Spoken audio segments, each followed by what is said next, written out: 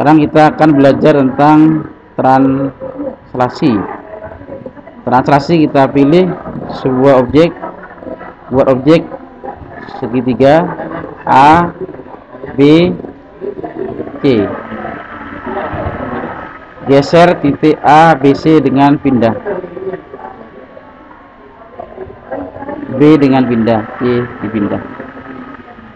Setelah itu kita pilih vektor vektor translasi. Kita buat vektor translasinya.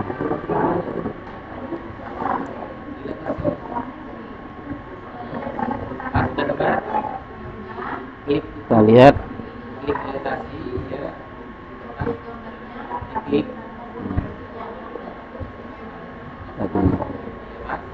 Setelah itu kita akan mentranslasikan titik D dan E ABC dengan DE. Kita pilih translasi D terhadap E.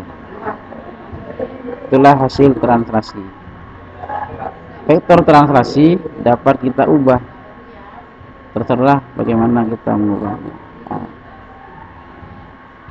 Bisa juga kita arahkan ke bawah. Nah, jadi